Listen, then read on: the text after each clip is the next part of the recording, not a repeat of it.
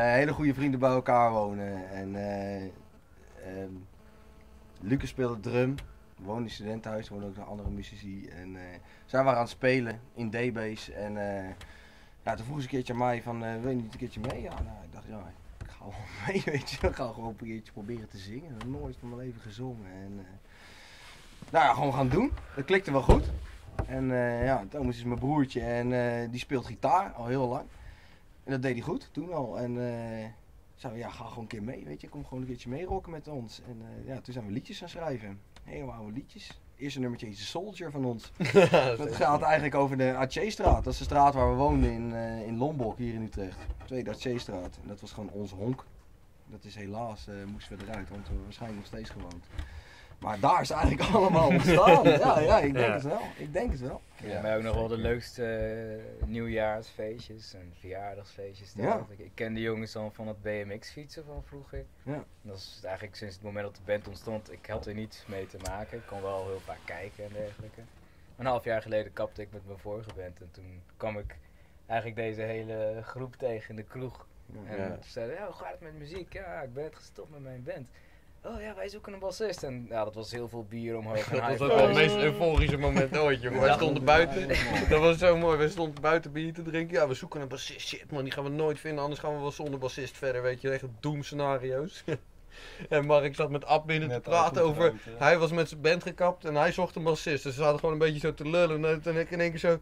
Hé maar Ab, waarom ga je dan niet bij ons bassen? Hele kroeg op. We hadden de bassist gevonden. Dat was We hadden afgesproken om de dag daarna dan te gaan spelen in de oefenruimte. En dat begon om 8 uur s avonds en dat eindigde om 5 uur s ochtends.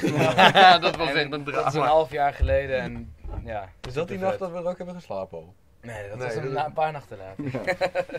we hadden een optreden op Hoog Katerijnen. Die, die, de nacht daarna, dat zou dan om, om, om 1 uur zijn. En wij waren dan tot een uur of vijf weer in de oefenruimte aan het bier drinken aan het spelen natuurlijk. En om, eh, om half twaalf ging de wekker. Anderhalf uur later stonden we op Hoog Katerijnen te spelen. En we dachten, kunnen we net zo goed hier blijven slapen. En dan, eh, Ja, het is best lastig voor ons af en toe om echt muziek te blijven maken. Want onze oefenruimte zit op de werkplaats waar ik ook werk. En daar is echt een soort van speeltuin voor grote kinderen. En we hadden net die avond na, misschien kennen jullie de bowlingbaan op Paaspop ook. Daar hadden wij, eh, die hebben wij dus ook gebouwd, dus die stond daar. Dus we hadden een bowlingbaanfeestje gehad. En uiteindelijk kregen van de buurman kregen wij in één keer een kart voor de band. Dus dat we een raceauto voor de band. Nou, een lege hal. Wij helemaal eh, goed, eh, goed in het glaasje gekeken. En wij in die auto rijden. Er stond nog een zwembad voor een theaterdecor. we Daar allemaal ingesprongen en zo. En toen in één keer moesten we nog muziek gaan maken. Nou, dat was echt... eh, Fucking vet. Zo groeit dat een beetje. en zo is dat nu Ja. een beetje bij elkaar gekomen. Allemaal als echt een hechte vriendengroep. En eh, ja, het klikt gewoon super goed eigenlijk. Buitengewoon best. Op het Wow. Cheers. Buitengewoon. Ja, het is- Proost. Vette shit. Ehm, ik heb ooit een keer geroepen in het wild. Eh, 14 jaar denk ik zo. ja, 16 volgens mij, zoiets ja. Dat als ik ooit een instrument zou willen spelen, eh, zou het mondharmonica zijn. Omdat ehm, eh, je kan hem in je binnenzak steken, je kan hem overal mee naartoe nemen. En dat vond ik al wel mooi aan het apparaat. Toen hebben twee vrienden dat op, opgepikt. En tijdens, eh, toen zat ik nog op de middelbare school en die hebben mij zo'n ehm, beginnerspakket gegeven met mondharmonica. En toen heb, ben ik een beetje begonnen.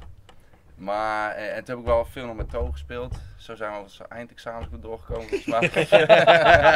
een kwartier leren, drie uur lang eh, muziek maken. En eh, eh, dat is af en toe pakte ik het op, af en toe legde ik weer weg. En eigenlijk nu sinds eh, ja, anderhalf jaar wel fanatiek mee bezig. Ja, zodoende. Ja, en uiteindelijk in de band gewoon vooral gekomen, toch? Mm. Ja, echt, eh, nu sinds een jaar dan ja. Ja, precies. Dat is echt het ding, als je ook echt mondharmonica leert spelen, is het echt veel blues. Dan is het echt altijd blues gerelateerd instrument. En wij proberen het Ja. op een iets andere manier te We hadden echt eh, zoiets van, ja, je kan wel een keyboard of synthesizer of weet ik veel wat, externe geluiden in de band of zo, maar we dachten, weet je wat, als er mondharmonica zit, is gewoon echt een hele catchy sound. Dat kunnen we volgens mij ook heel anders benaderen dan zomaar een blues riffje of iets. Dus zo zijn we nu een beetje op zoek naar wat, we, wat voor muziek we daarmee kunnen maken, zeg maar. En, eh, daarnaast heb ik nu heel veel percussie ook gevonden en zo. eh, Ja. Gekke Ook leuk. trommeltjes Ja. en dingetjes. En... Eagles of Dead Metal! Ja, ik ja. denk dat het wel voor iedereen Ja, heel verschillend is. Nee, Ja. maar ik denk wel voor ons allemaal dat Eagles of Death Metal echt een hele toffe band is. Ja, dan gaat het niet zozeer om de muziek, Ja, maar meer de vibe. weet je, we hebben vanmiddag ook, weet je, om, voordat we deze akoestische set moesten gaan spelen, eh, Amsterdam Acoustics, heb je ook Eagles of Death Metal. En die hele vibe die die gasten gewoon om zich heen hebben, is gewoon zo ontzettend tof. En zo gewoon lekker laidback en huppa, weet je wel. Niet, niet, niet boven je uit gaan stappen en gewoon lekker rocken en er plezier in hebben. Nou, maar er zijn ook wel meer bandjes. Ja, Black Keys Black Keys ook, vind ik eh, ook tof. natuurlijk heel eh, tof, eh, Queens of the Stone ja. luisteren we allemaal ook wel heel veel. Ja. Maar we hebben allemaal heel veel verschillende... Chow net nog. Ja, dat Ja, zijn een beetje, eh, denk ik, de bands die... Nou ja, daarom, Ja. weet je, we hebben Ja, hard. dat is best Punk. Ja, ik luister de afgelopen paar dagen nog alleen maar naar Tidal Fight. Ik weet niet waarom, maar ik- ja, mooi. Ja. Zie het mooie er wel in. Ja. Ja.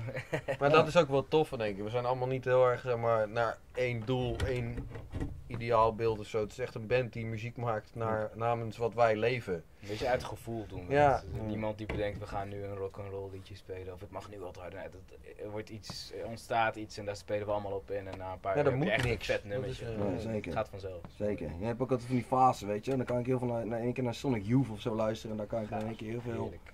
Inspiratie uit halen. Of ga je heel veel nadenken. Zit je op de fiets naar werk toe en dan kan je heel veel over nadenken. Maar het, kan ook zelfs weer een Manu Chao zijn of zo, weet je. Dan heb je, ja, ik heb gewoon zin in de zomer. En dan hele gevoelens daarbij. En daar, daar naar luisteren, weet je. Het is, het is niet echt één stijl. Wij drieën fietsen allemaal veel. We vinden allemaal wel die, ja, veel sporten tof. En, en muziek tof. En we vinden eigenlijk alles wel vet, weet je, met z'n allen. Er is nooit iets van, als jij iets tof vindt, dat ik dan zeg van, ja, dat vind ik echt niet vet of zo, weet je wel.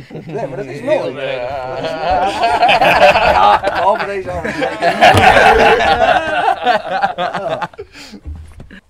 Overdreven festival. Dat is eigenlijk de voornaamste eh, show voor ons in het vooruitzicht waar we echt eh, naartoe werken nu. Om, eh, wat wij in het verleden nu, of het afgelopen jaar met optreden hebben geleerd met app erbij, komen een beetje gesetteld. En we beginnen nu echt een goede set te hebben. Een aantal nieuwe songs, echt met app ook erbij geschreven. Ja. En eh, daar willen we echt naartoe gaan werken om daar eventjes gewoon toch wel echt op een groot podium. Want we hebben veel dingen gedaan op Hoogkaterijn, ook op hele kleine dingetjes in winkeltjes en eh, klein en leuk. En eh, weet je wel, maar op een gegeven moment moeten we nou toch ook wel grotere podia een beetje gaan opzoeken van meer ons geluid laten horen.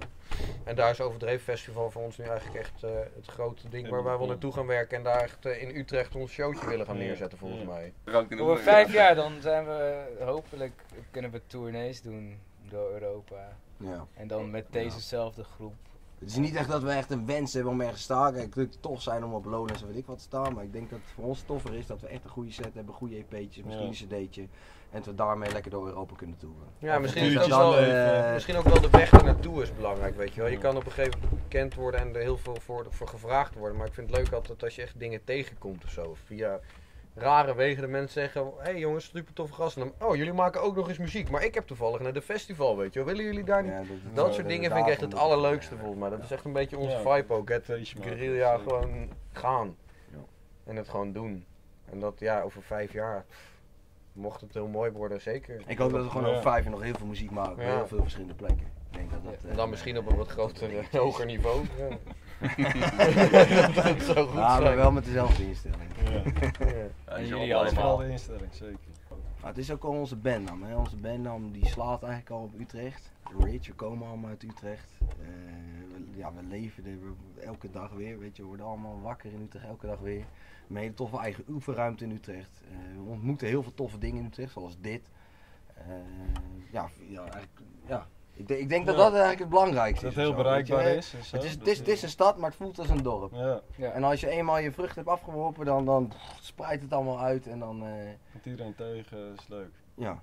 Maar ja, het is echt wel heel tof. Dan. Ja. In Utrecht is zeker ook inderdaad wat je zegt, een klein, klein stadje waar je echt, maar dit- zoals nu, we komen dan hier en het is echt volgens mij zit er, wat wij nog niet goed kennen, is echt een soort van hele goede muziekscene in Utrecht en waar je echt goed in terecht kan Nee. komen. Daar zijn we toch te kort voor bezig. Ja, en dat is echt wel heel leuk. Je komt steeds nieuwe mensen tegen, terwijl je bijna denkt, ik ken al iedereen, weet je wel. Dat, je, en dat is echt gewoon heel tof dat je, dat je daarmee in, in aanraking komt. En daardoor, dat zal vast en zeker elke stad hebben. Misschien is Utrecht dan ook wel toeval dat we er toevallig allemaal wonen. Ik denk eigenlijk niet dat echt, ja.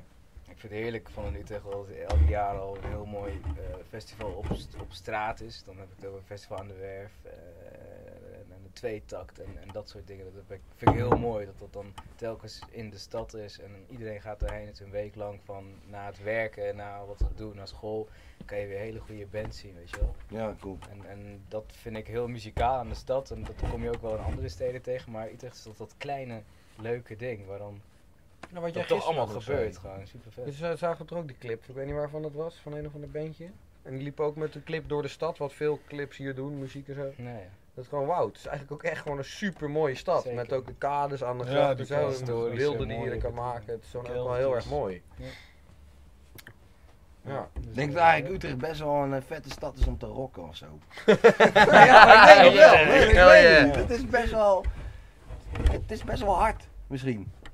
Weet je, je moet je weg wel je weg erin weten te vinden. En als je die hem hebt gevonden, dan gun, is er best wel gunfactoren. En daar moet je gewoon vet gebruik van maken. En gewoon eh, Ja, spelen. Je eigen ding doen. Ik denk dat het is voor je terug. Zeker weten. Fuck yeah.